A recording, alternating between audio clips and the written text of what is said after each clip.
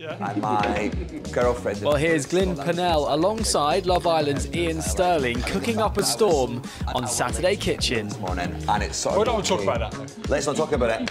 but what are his top tips for cooking at home during the lockdown?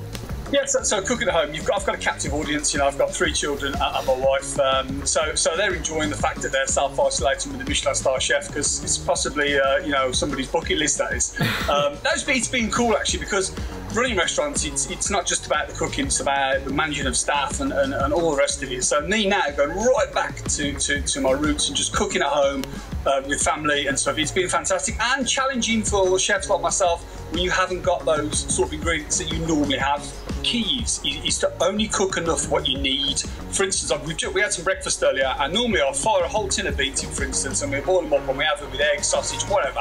But this time around, I only put half a tin in. We only had one egg each, one sausage, one slice of bread, and you know what? We had a fantastic breakfast. We ate enough.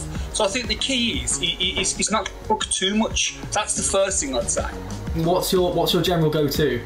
Spices all day long. I mean, we're Brummies, so we love a good spice anyway. Use spices as seasoning rather than salt, because if you're having a higher, because you're eating in a lot and you're, and you're seasoning stuff to get the flavour and some basic things, ease off the salt and the butter and start using spices in a very sort of very sort of um, western way. So if you've got a little piece of lamb or, or whatever season that with cumin rather than salt. Um, you know just just try and be creative. Tin of pilchards been knocking around there for ages. Why not bring them bring them back with some uh, tin tomatoes some chickpeas or some white beans uh, a bit of dried parsley and just try and make something creative that, that's going to be look good because it will look good, but also when you're using that tin that's been in there too long, that's probably been to two or three harvest festivals.